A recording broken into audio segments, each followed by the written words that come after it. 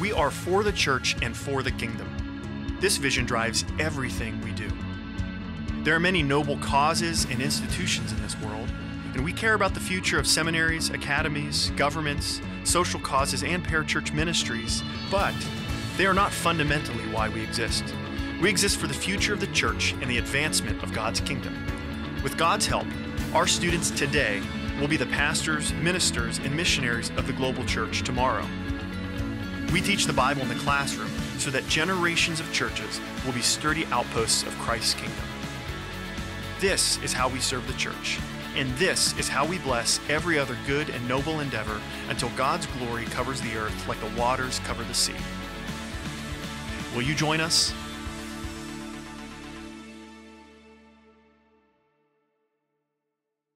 Good morning. It's really good to see you all in the chapel service this morning. Let's open the Bible, Genesis chapter 21, verse 31 to chapter 22, the verse 2. Genesis chapter 21, verse 31, chapter 22, verse 2. Therefore, he called the place Beersheba because there the two of them took an oath. So they made a covenant at Beersheba, and Abimelech and Phicol, the commander of his army, arose and returned to the land of the Philistines. Abraham planted a tamarisk tree at Beersheba, and there he called on the name of the Lord, the everlasting God. And Abraham sojourned in the land of the Philistines for many days. Now it came about after these things. God tested Abraham and said to him, Abraham. And he said, Here I am. He said, Take now your son, your only son, whom you love, Isaac, and go to the land of Moriah and offer him there as a burnt offering on one of the mountains of which I will tell you. When I was in elementary school, if I say the faith in Sunday school, my teacher always mentioned the event in Genesis chapter 22, where Abraham offered Isaac. As we already know, God commanded that Abraham to offer his only son Isaac as a burnt offering. And Abraham immediately obeyed him. As Abraham built an altar for burnt offering and was about to sacrifice, God sent an angel to tell him, Do not lay your hand on that boy. And Abraham sacrificed a ram God prepared. Whenever I read this passage, I always wondered no matter how great his faith, how could Abraham even attempt to sacrifice his son, the one who loved so much? That's great and amazing, but I don't understand. After I had my youngest boy 10 years ago, I do not understand this passage even more. When I got back home from work, he ran to me like a puppy and then jumped into my arms, and then the stress of the day just flies away. If God commands me to sacrifice my curie little boy as he did to Abraham, I don't think I'm able to do that. So, what do you think? If God commands you to sacrifice your kid, can you do that? The writer of the book of Hebrews tells us how Abraham was able to this in book of Hebrews chapter 11 verse 19. Verse 19. Abraham reasoned that God could even raise the dead. And so, in a manner of speaking, he did receive Isaac back from death. The writer of the book of Hebrews interprets it is because Abraham possessed resurrection faith. That means Isaac would be alive again from death. His interpretation seems to make sense because in Genesis chapter 21, just before the offering of Isaac, Abraham had called on the name of the Lord, the everlasting God at Beersheba. Here, the word resurrection and everlasting are closely related. That Abraham had the resurrection faith is unbelievable. The Old Testament mentions the resurrection, but only in a few verses. And then ancient Near Eastern documents show a similar but not exactly the same concept to resurrection. That is, in agricultural background, the change of season, the frozen dead ground of winter coming alive with hot wind as spring was religiously symbolized as a resurrection of the weather gods. As Christians you know, who know and believe in Jesus Christ's resurrection, it may be easy for us to take this as a given. But in reality, we believe resurrection as a future event that will happen at the second coming of the Jesus Christ or as an event that spiritually happens in our lives. But do you really believe that real and physical resurrection is happening in our current lives? No. That is very difficult to believe. It is a, such a mystery that for Abraham to possess resurrection faith in his days about 3,800 years ago. So, in order to understand how Abraham came to possess resurrection faith, we need to see what happened to Abraham before Genesis chapter 22. Because uh, in Hebrew, the first verse of Genesis chapter 22, verse 1 says, After these things. This implies Abraham came to have a faith in resurrection through, a series of events occurring just before Genesis chapter 22. The series of events takes place over two chapters, Genesis chapter 20 and then 21. And then these events are also deeply related to the God's covenant with Abraham and Genesis chapter 12. If you look at Genesis chapter 12, God promised Abraham he will make a great nation for him. In order to make a great nation, two things are absolutely required. First, there must be a descendant to form the nation. And then, second, there must be the land for the descendant to live in. In Genesis chapter 20 and then 21, there are two events related to the descendants and then two other events related to the land. So now let's look at the first two events related to the offspring. The first event can be found in Genesis chapter 20, verses 1 and 2. Verses 1 and 2. Now Abraham journeyed from there toward the land of the Negev and then settled between Kadesh and Shur. And he sojourned in Gerar. Abraham said of the Sarah his wife, She is my sister. So Abimelech, king of Gerar, sent and then took Sarah. When Abraham and Sarah went down to the land of the Gerar, Sarah, his wife, was so, so beautiful woman. So Abraham feared the land of people would kill him and then take her away. So he lied. Sarah was his sister.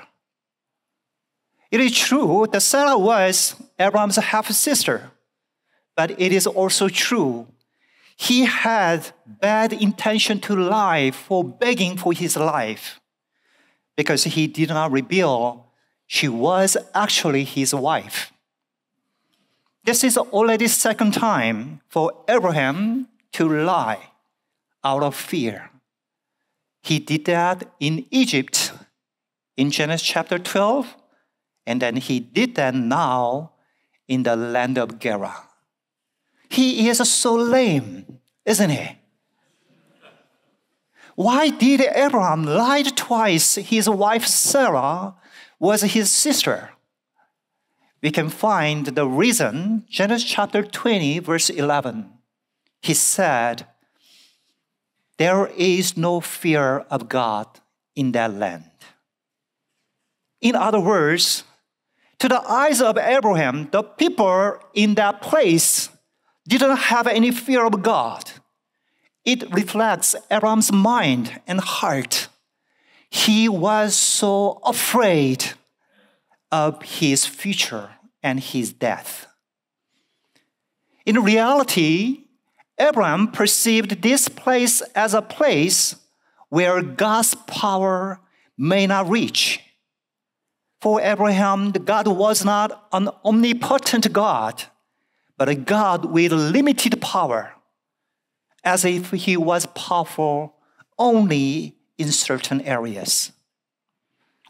If we were a country like Afghanistan or North Korea, you may feel like uh, Abraham.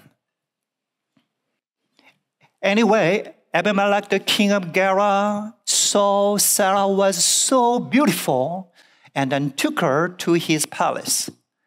But that night, God appeared in Abimelech's dream and then told him if he did not send her back to Abraham right away, God would kill him and then destroy his whole household. Abimelech was so afraid and devastated so quickly sent the Sarah back to Abraham and then gave Abraham sheep, oxen, and a servant, and also 1,000 pieces of silver. If you look at the Bible, much later, Joseph was sold only for 20 pieces of silver. So 1,000 of the 1,000 pieces of silver was a great amount of money. And in addition, he let Abraham live in his land. So Abraham prayed to God in gratitude for Abimelech's generosity. And God favored Abimelech so that he healed him and his wife and his maid servant so that they bore children. Second event related to the offspring is found in Genesis chapter 21, verses 1 and 2. Verses 1 and 2. Then the Lord took note of the Sarah as he had said. And the Lord did for Sarah as he had promised.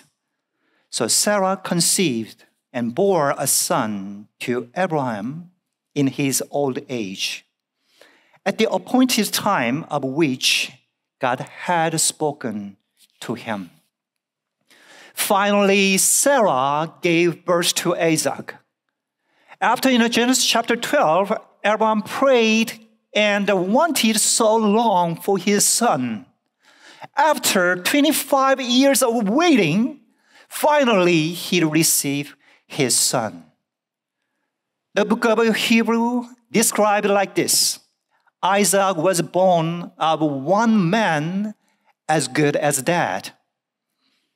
Here, one man as good as dad refers to Abraham.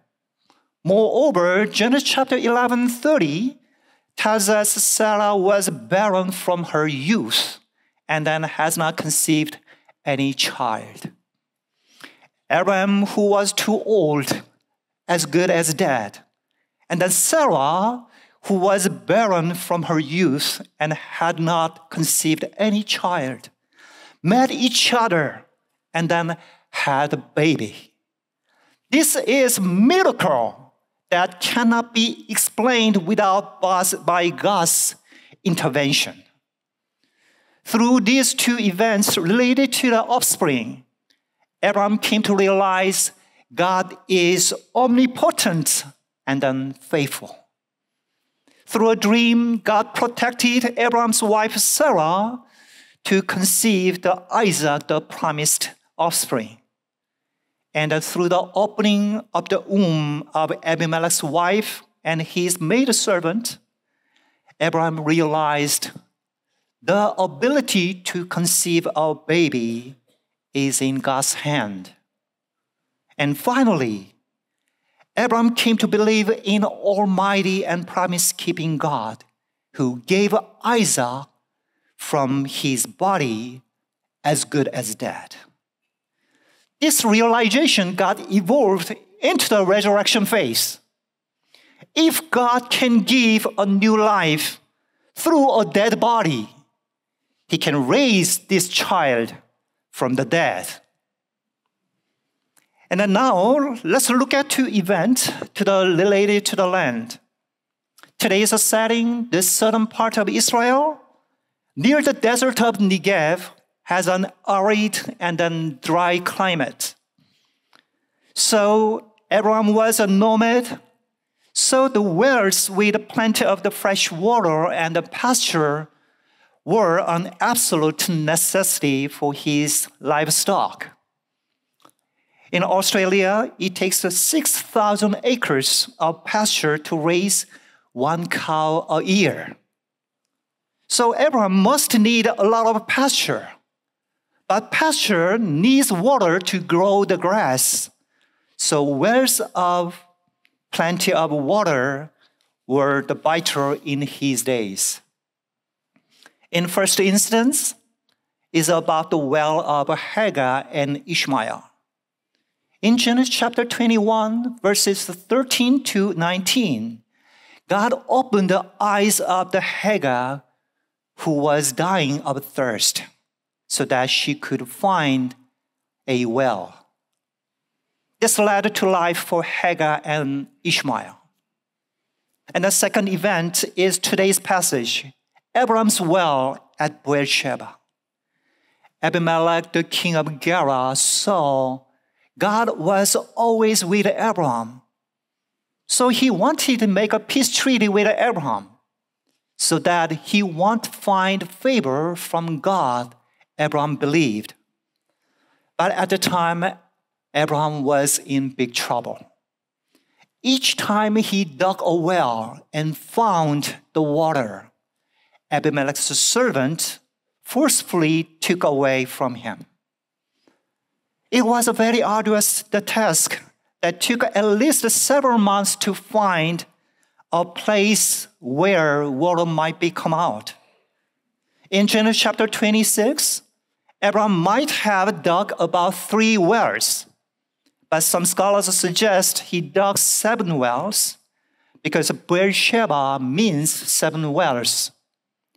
In any case, these wells were all taken away by the Ab- Abimelech's servant. Abimelech swore to God, that swore to Abraham, it would never happen again. And then Abraham made a peace treaty with him. In addition, Abraham gave Abimelech seven ewes in addition to his sheep and oxen, demanded Abimelech the king himself be a witness to the well Abraham dug. And Abraham, Abimelech, took an oath. Later, Abraham named the place the Beersheba.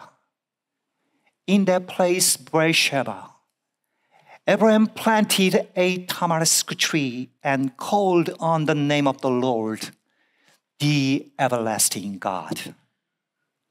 On such occasions, Abraham used to build an altar and worship God.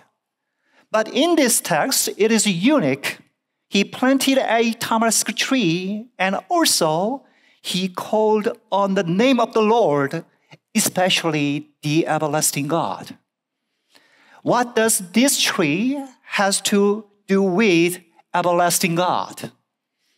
In the Mesopotamian the text, tamarisk tree appears as a tree purifying its surroundings. It is a sacred tree that was planted when a temple or royal palace was being built to purify and remove uncleanness from its surroundings. It is also an evergreen tree that is extremely hardy and reproductive, and even able to grow in dry and salty places like a desert. So it is a symbol of abundance and fecundity in the Arabic world even today. Wherever it was planted, it soon became a forest and providing shades and resting places for many people. Abraham believed God would give this land to his future generation as a promise, and he would make this land abundant. Therefore, Abraham's planting this tamarisk tree was an expression of his faith. Although he is now a stranger in this land, living as wandering nomad, one day the faithful God would keep his promise and give Abraham's descendant a pure and abundant nation. At the well of Beersheba, Abraham worshipped the God who transcended time, who transcended the death, who is almighty and live forever and ever.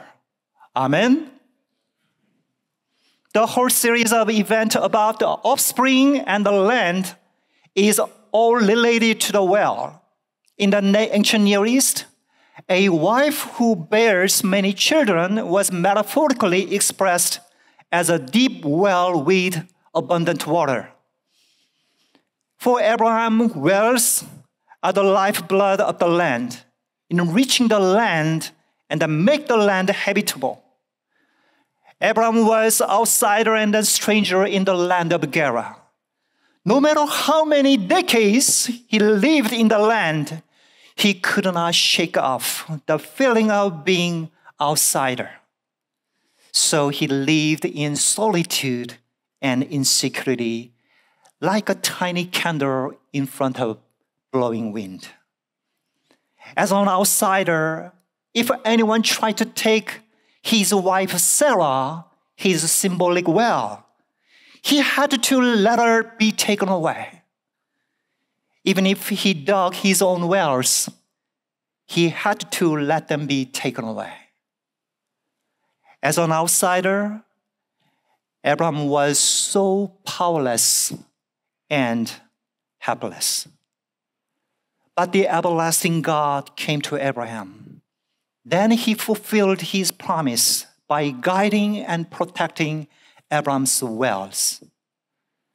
But that is not end of it. After this sequence of the event, God came to test Abraham. This test seems to break down the faithfulness of the Almighty God. He need descendant to keep his covenant with Abraham. But the sacrificing that descendant does not fulfill the covenant. It is never easy to have faith in something you do not understand. We see this in the story of the Job. For long 42 chapters, we see Job's desperate struggle to plead with God about the suffering he does not understand. But we see Abram's faith overcome it. Although Abram was so, so afraid of his future and his life, so that he twice lied Sarah was his sister. Now, believing in the everlasting God who came to his well and protect them and then fulfill his promise, Abram now obeyed God's command with resurrection faith. In this way, Abram demonstrated the completion of faith from calling on the everlasting God to believing in Him. In the Bible, many people encountered this everlasting God at their wells. The woman at the well in John chapter 4 also everlasting encountered this God through the Jesus. Jesus' word filled her bleak, dark, and cursed past and a certain future. We also need to encounter this everlasting God who comes to the well of our lives and then feel Him and then experience Him. I have met many Korean and Chinese Americans. They came to America and with the hope of achieving something of themselves. Even though they lived here even for 20 years, 30 years, and 40 years, even having their children and grandchildren, I saw the many people are living with a feeling with unsettlement and anxiety in their daily lives. If you ever lived as a missionary outside of America, you probably felt the same thing. Although you are living as a natives in America, basically our lives are like a nomad without knowing where to go and then what to do many times. As I prepared you know, for this sermon, there was you know, one person who came to my mind. She was called Hia, the four fingered pianist. Born with a congenital limb defection, she had only two fingers on each hand. And at the age of three, she had to have an amputation surgery below the knee. So she played the piano by pedaling with her thigh bones. What touched most was this pianist's mother, the Gobson. Gobson's husband was also the grade one spinal cord paralyzed after an accident during the military operation. After eight years of the marriage, Gobson conceived a baby, but ultrasound tests revealed that baby was deformed her husband, who well understood the suffering of the disabled, suggested her aborting the baby. But Gobson, while praying to God, decided to give a birth and then raise the baby. Soon after baby, the baby was born, other family members came to see her, but ran away in fear. This mother alone sat by her daughter's side and prayed to God with tears and in her eyes. Lord, you made this world and said it was beautiful. So my baby must have come into the world for a reason. In the middle of her prayer, she heard God's comforting voice do not ignore her because of her different outlook. She quickly got up and then took out her baby's hand and then saw two fingered hands. She felt they looked like two beautiful tulip leaves. There is no doubt Gobson had to raise her daughter with a lot of tears and struggles. In the early 2000s, she was diagnosed with a cancer.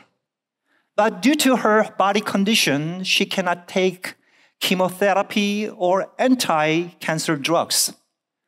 So she does not know when her life will come to an end.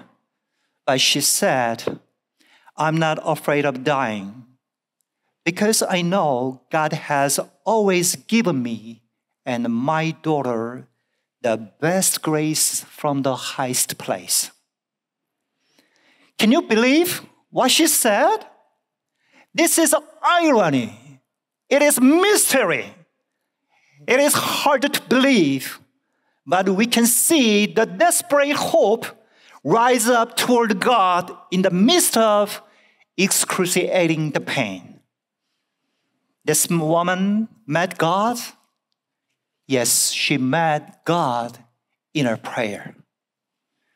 My beloved and brothers and sisters, we also have to encounter this everlasting God who comes to our well in our lives, in our chapel worship service, and in our prayers. I don't know the what pain and suffering you are going through. I don't know the one you may face in the future. But I do know this for certain. There is a hope in our lives, even when we are like a candle light in front of a stick storm. Because we have our God, the Lord, who is everlasting and faithful we can shake off our fears about our future and move toward in faith. There must be something in our future we do not understand. We can face tomorrow because our faithful and everlasting God lives forever and ever. Let's pray together. Dear Heavenly Father, please come to us and meet us. And so that, Lord, we can touch you, we can feel you, we can experience you. Lord, I don't know what kind of pain and suffering we are going through in our future and in our present. But Lord, because you are live forever and ever, we have a hope we have a joy. We have a certainty in our future. Thank you, Lord. Thank you, your the presence. Thank you, your you know the presence and the faithfulness. Thanks, Lord. In the name of Jesus Christ. Amen.